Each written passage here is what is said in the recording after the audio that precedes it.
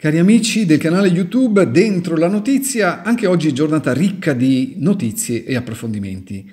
SFM UK Management, il ramo britannico del Soros Found Management, ha acquisito il 3% della GAM, società elvetica di asset management, che nel 2018 ha subito dei rovesci finanziari nel business e forti perdite in borsa. Proprio nelle scorse settimane l'Assemblea degli azionisti aveva negato ai dirigenti GAM il riparo da eventuali azioni legali. Il crollo del 76%, archiviato dal titolo GAM nel 2018, è legato per lo più alla crisi di alcuni fondi della società e ai conseguenti ingenti deflussi di capitali. L'annuncio dell'ingresso in GAM del ramo londinese del fondo di Soros è stato un atto dovuto, in quanto le norme della borsa svizzera prevedono che dal 3% in su le partecipazioni debbano essere dichiarate. I portavoce di GAM non hanno voluto commentare l'approdo di Soros nella società. Quindi occhi puntati su GAM e soprattutto sulle prossime mosse del finanziere americano su questo suo nuovo versante elvetico. Giovedì 23 maggio un gruppo di creditori tedeschi in possesso di titoli di Stato della Grecia per 3 milioni di euro ha perso la sua battaglia legale dinanzi al Tribunale dell'Unione Europea, a cui si era appellato dopo la ristrutturazione del debito pubblico ellenico, avvenuta nel 2012 e contro cui si era opposto. Gli obbligazionisti avevano chiamato in giudizio la BCE, Rea, a loro dire, di aver avallato tale ristrutturazione con un parere favorevole chiesto dal governo di Atene. I giudici europei hanno sentenziato che l'istituto non avrebbe travalicato i suoi poteri con la concessione del parere favorevole e nemmeno vincolante, anche perché hanno riconosciuto il diritto degli Stati di rivedere le condizioni contrattuali nel caso in cui confliggessero con gli obiettivi di interesse generale. In sostanza, non si può considerare una violazione degli obblighi contrattuali la revisione degli accordi, qualora sia divenuto impossibile mantenerli. Che lezione possiamo trarne? Il virus dell'Ebola è da mesi che continua a mietere vittime. I morti sono già 1200 su quasi 1800 casi di contagio, un tasso di mortalità elevatissimo. Ma l'Ebola è un morbo terribile e solo una controffensiva ben organizzata può avere la meglio sulla sua diffusione ed evitare che dalla Repubblica Democratica del Congo il virus balzi nel confinante Sud Sudan, nei campi profughi e da lì diventi poi inarrestabile. Il virus è infatti venuto alla luce nel nord-est del Congo, dove continua una spietata guerriglia di gruppi jihadisti associati a Boko Haram, e ad Al-Qaeda sono aree ricche di minerali preziosi, ma anche terribilmente instabili, teatro di massacri e esodi di massa, dove la popolazione è diffidente di tutto e di tutti. Chissà perché. Chi c'è dietro Boko Haram e Al-Qaeda? Vi invito a vedere il TG Flash del 1 gennaio 2019 sull'Ebola in Europa e del 29 dicembre su Boko Haram. Pare che ogni mossa, ogni decisione assunta in queste settimane dai falchi di Washington vada nella stessa direzione. Fare dell'Iran 2019 l'Iraq 2003. Una guerra che non ha come motivazione vera il nucleare iraniano, 16 anni dopo l'Iraq, l'obiettivo strategico degli USA è quello sempre di abbattere un regime diventato scomodo per Washington e per i suoi più stretti alleati in Medio Oriente, l'Arabia Saudita e Israele. E questa possibile guerra può vedere coinvolta l'Italia. Trump dispiegherà in Italia gli F-35 nella base di Aviano Analisti di provata esperienza in vicende geopolitiche e militari concordano nel ritenere che il dispiegamento di F-35 in Italia può essere legato all'escalation della crisi con l'Iran. Misure che faranno aumentare le tensioni nella regione del Golfo Persico. Così il ministro degli esteri iraniano, Mohammad Javad Zarif, ha definito l'invio di altri 1500 soldati americani in Medio Oriente, deciso dal presidente Trump, in seguito a presunte minacce iraniane denunciate da membri della sua amministrazione. L'Iran vedrà la fine di Trump, ma lui non vedrà mai la fine dell'Iran. Aveva minacciato lo stesso Zarif nel corso della sua visita ufficiale in Pakistan. Il riferimento del capo della diplomazia di Teheran è al tweet dei giorni scorsi di Trump che avvisava la Repubblica Islamica di non minacciare più gli USA, altrimenti sarebbe stata la sua fine ufficiale. Zarif ha detto che anche se Trump ha accusato più volte la nazione iraniana con il titolo di terrorista, è lui quello che se lo merita. Gli USA lanciano accuse senza fondamento per giustificare la loro politica aggressiva verso di noi. Convinzione dei democratici americani, e non solo di Zarif, è che Bolton sia alla ricerca di una scintilla per muovere guerra agli ayatollah. Nel suo staff, difatti, ha collaboratori che sono definiti falchi. Con Israele Bolton insiste nell'affermare che l'Iran stia costruendo la bomba atomica, smentito però dalle ispezioni dell'Agenzia sul nucleare, AIEA, delle Nazioni Unite, e dai rapporti degli ultimi anni delle intelligence e del Pentagono stesso. Pare che l'influenza dell'ex ambasciatore all'ONU sulle decisioni di Trump sia cresciuta a tal punto che il quotidiano britannico Guardian si sia chiesto in un commento se davvero John Bolton non sia l'uomo più pericoloso al mondo. Ed anche il New York Times riflette su come, spingendo gli USA alla collisione con l'Iran, il consigliere nazionale alla sicurezza realizzerebbe un obiettivo di politica estera perseguito da tempo.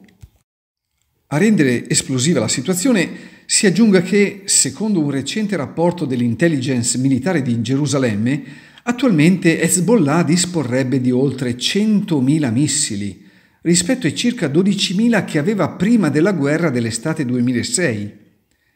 E il sito French Intelligence riferisce che gli Hezbollah starebbero costruendo almeno due installazioni in Libano, dove produrre missili ed armamenti. Nella prima installazione verrebbero prodotti razzi Fateh 110, capaci di colpire quasi tutto il territorio israeliano, con una gittata di 300 km e un discreto livello di precisione. Nel complesso situato sulla costa mediterranea, invece, verrebbero fabbricate munizioni di piccolo calibro, e questo col sostegno dell'Iran, nel frattempo, l'Iran propone ai paesi del Golfo Persico di firmare un patto di non aggressione. Teheran cerca di costruire rapporti equilibrati con i paesi del Golfo ed è disposta a firmare un patto di non aggressione.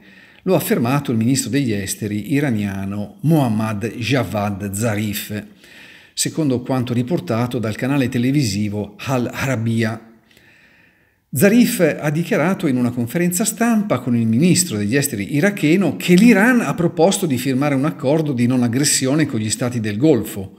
Contemporaneamente ha sottolineato che l'Iran contrasterà però qualsiasi aggressione sia economica che militare.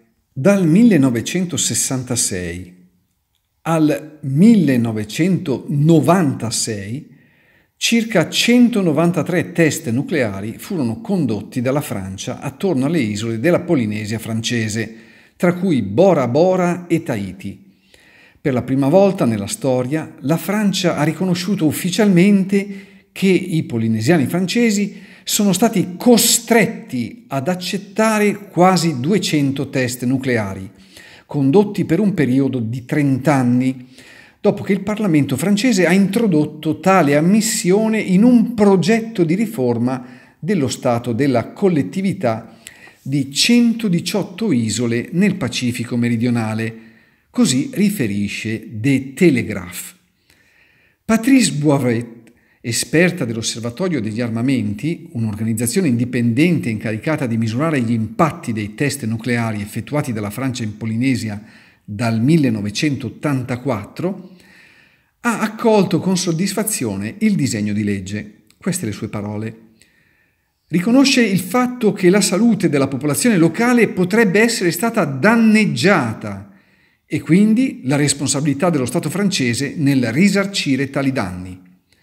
Fino ad ora l'intero discorso francese era che i test erano puliti, era proprio la parola che veniva usata, e che avevano preso tutte le debite precauzioni per il personale e la gente del posto. Dopo decenni di pressioni, nel 2010 il governo francese ha offerto milioni di euro in compensazione per i 201 test nucleari del governo nel Pacifico meridionale e in Algeria. La Corea del Nord ha fatto una nuova minaccia agli Stati Uniti, così scrive Newsweek. Pyongyang ha avvertito Washington che l'America dovrà affrontare una dura risposta nel caso non cambierà la sua strategia di negoziazione sul nucleare della penisola coreana in particolare se non allenterà le sanzioni. Come ricorda appunto Newsweek, dopo le negoziazioni tra il presidente degli Stati Uniti, Donald Trump, e il leader nordcoreano Kim Jong-un, che sono state bloccate nel febbraio di quest'anno, le relazioni tra i due paesi hanno cominciato a tornare all'ostilità come nel 2017 quando Washington e Pyongyang erano sull'orlo della guerra. Un agente della polizia di Tolosa ha picchiato con un manganello un corrispondente di RT France durante una dimostrazione dei gilet gialli, secondo il canale televisivo Russian Today. Il giornalista ha gridato che apparteneva alla stampa, ma ha continuato ad essere picchiato in precedenza, un incidente simile si era verificato a Parigi con Victoria Ivanova, corrispondente di Ria Novosti, durante gli scontri della manifestazione del primo maggio nella capitale francese, la Ivanova era stata colpita con un manganello dalla polizia. Ivanova aveva presentato una denuncia contro l'Ispettorato generale della Polizia Nazionale francese, IGPN in proposito, il sito di un sindacato di polizia francese, la Polizia Arrabbiata, ammette testualmente di aver applicato gli ordini ultra repressivi dell'esecutivo per imbavagliare i gilet gialli. I sindacati di maggioranza della polizia che hanno accompagnato o incoraggiato le politiche ultra repressive del governo nei confronti dei gilet gialli hanno aumentato di più l'esposizione dei nostri colleghi a sanzioni penali particolarmente gravi. E leggiamo ancora una vena di antipolitica nel sindacato di polizia che si dichiara apolitico. Questo quanto scritto. Nel 2020 il bilancio del Parlamento europeo supererà i 2 miliardi di euro per la cronaca, un deputato al Parlamento costa attualmente ai contribuenti la modica somma di 2 milioni e mezzo di euro all'anno. Qualunque sia l'esito delle elezioni europee, nulla cambierà per il popolo e la sua polizia. Gli unici veri vincitori saranno i funzionari eletti che metteranno in palio un bel jackpot grazie alle vostre schede elettorali. La posizione della nostra Unione è chiara. Tutti marci e assumiamo completamente questa posizione che alcuni non mancheranno di definire populista. La crisi dei gialli ha mostrato il vero volto dei partiti politici, quello della strumentalizzazione, della manipolazione e dell'utilizzo del lavoro delle forze di polizia per scopi politici. 29 suicidi di poliziotti e migliaia di feriti nelle nostre file, 240 inchieste IGPN, migliaia di gialli feriti o mutilati a vita. È quello che hanno ottenuto i nostri cari politici, che vengono oggi a reclamare le nostre voci per arricchirsi un po' di più, mentre noi moriamo. Siamo i cuckolds della storia, i tacchini ripieni. Il segretario generale della Nato, Jens Stoltenberg, in un'intervista pubblicata ieri, domenica 26 maggio, dal domenicale tedesco Welt am Sonntag, ha dichiarato Sappiamo che la Russia interferisce deliberatamente nella nostra democrazia attraverso la disinformazione e gli attacchi informatici. Questo è particolarmente vero nel momento in cui si svolgono le elezioni. Secondo l'ambasciatore della Federazione russa in Italia, Sergei Razov, Russia e Unione Europea sono partner naturali. La nostra collaborazione ha enormi potenzialità di sviluppo. Insieme contiamo più di 650 milioni di abitanti che popolano un territorio di più di 21 milioni di chilometri quadrati. Disponiamo di enormi risorse naturali, una base tecnologica evoluta e vantaggi economici complementari. Contiamo che nell'Europarlamento di nuova composizione, invece della retorica sanzionatoria, ormai consolidata nel lessico di singoli politici europei, risuoneranno appelli al dialogo e alla costruzione del partenariato parlamentare. Ciò consentirà di abbandonare l'insensata contrapposizione che ha significato perdite multimiliardarie per le imprese europee e perdite nel mercato russo. In riferimento alle accuse di intromissione nelle elezioni, ha poi detto per qualcuno la mano di Mosca spunterebbe letteralmente ovunque.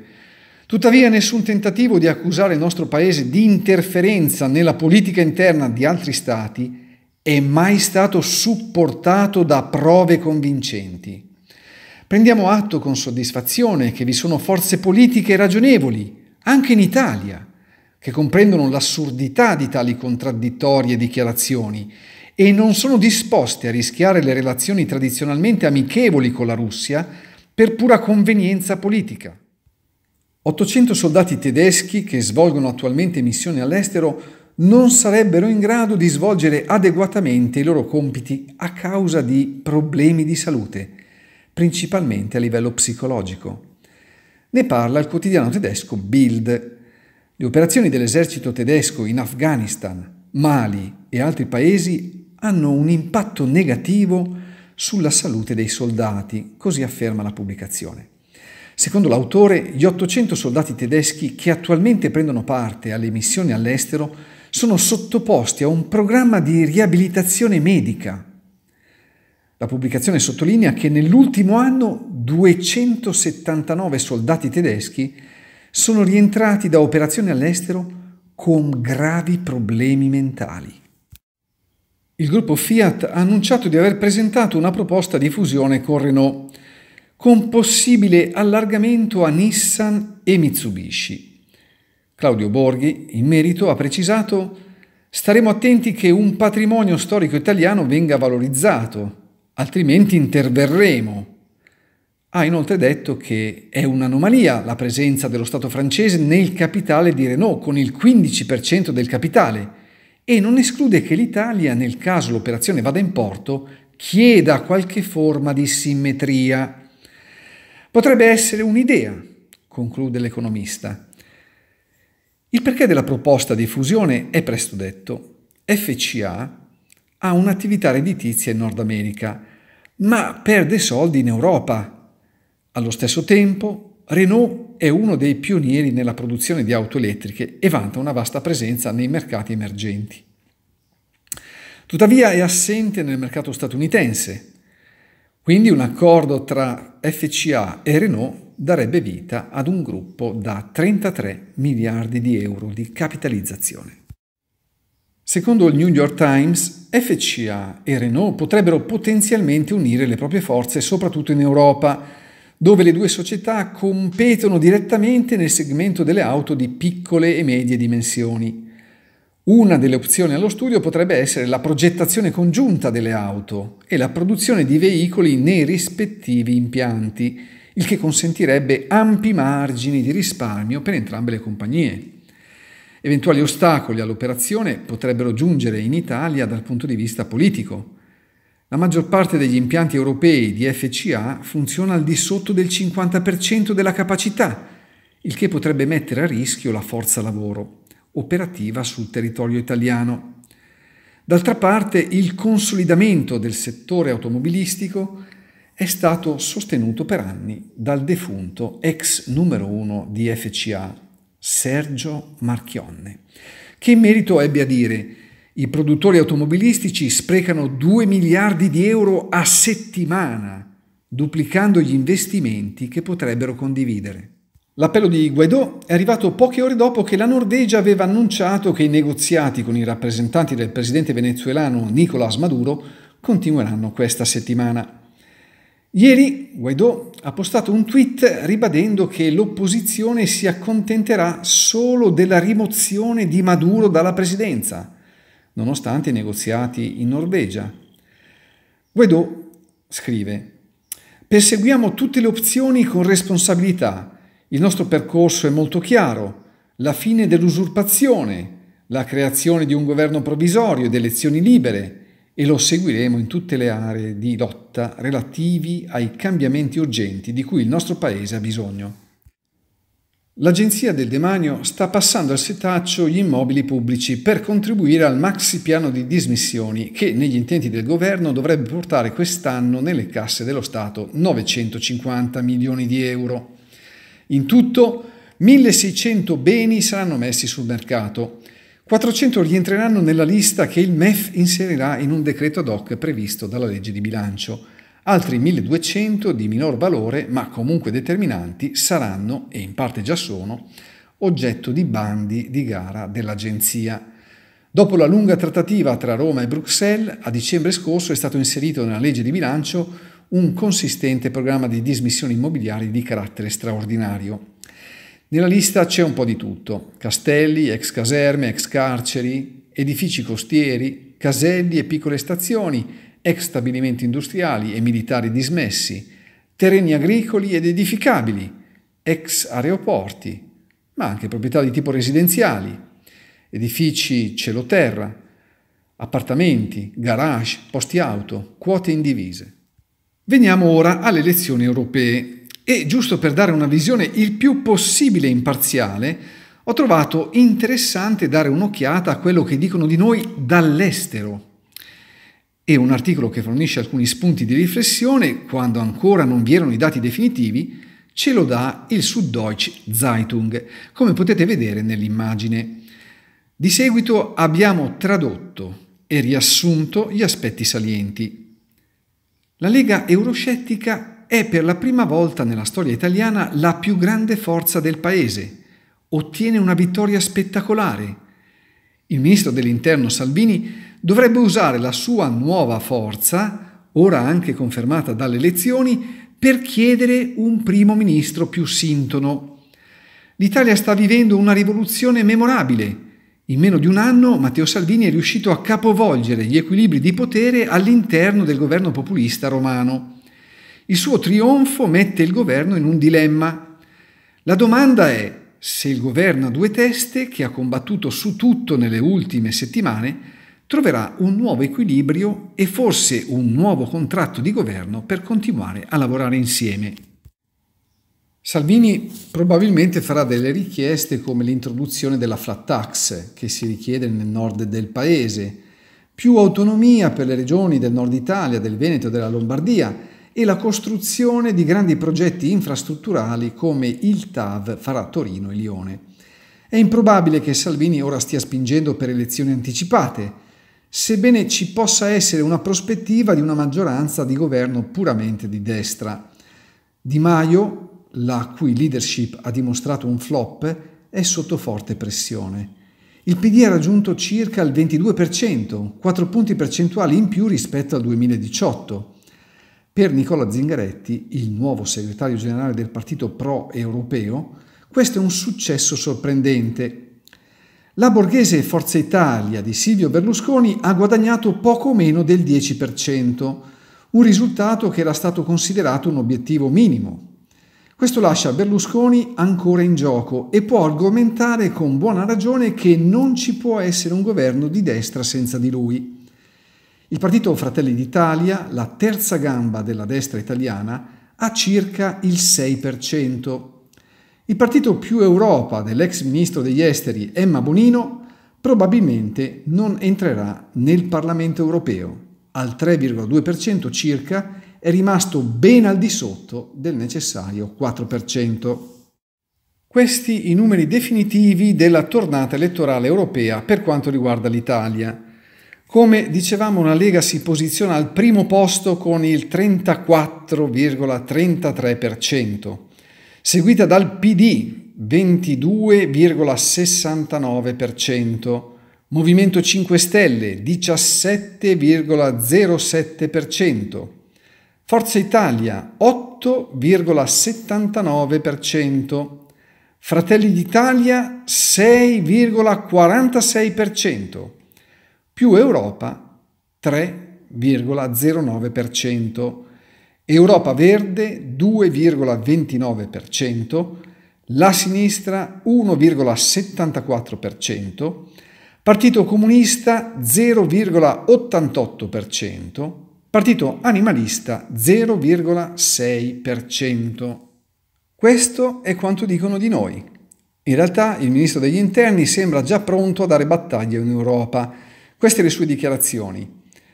Risulta in arrivo una lettera dalla Commissione europea sull'economia italiana.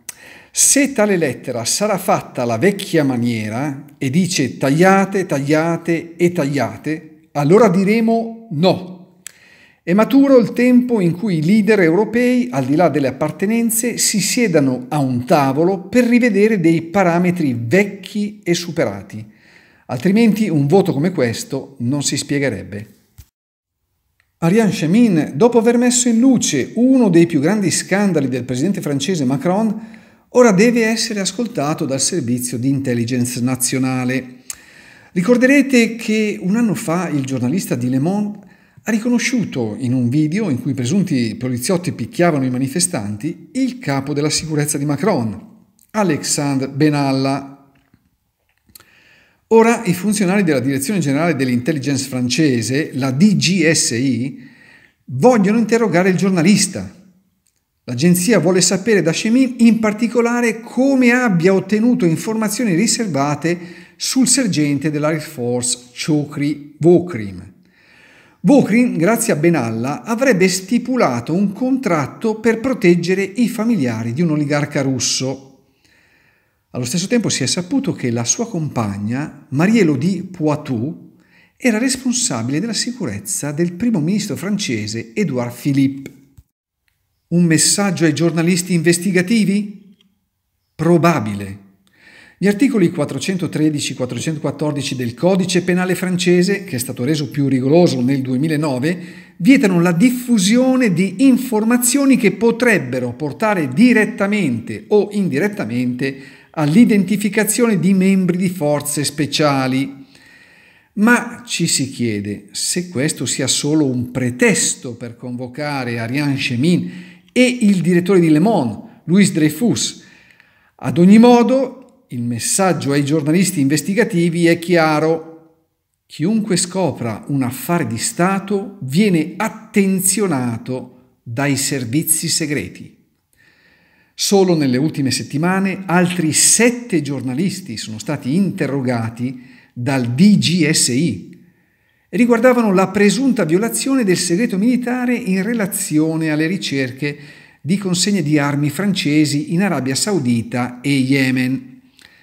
I sindacati dei giornalisti francesi e una quarantina di redattori dei media hanno protestato che il lavoro della DGSI, a nome del governo, è un rinnovato tentativo di intimidire i giornalisti che stanno semplicemente facendo il loro lavoro. Cari amici, iscrivetevi numerosi al canale Dentro la Notizia per avere una visione imparziale dei fatti ed essere al corrente di ciò che i media mainstream non dicono. Aiutateci a diffondere i video e se apprezzate il nostro lavoro sosteneteci ora con una donazione che ci permetta di proseguire. Un abbraccio dal vostro Roby.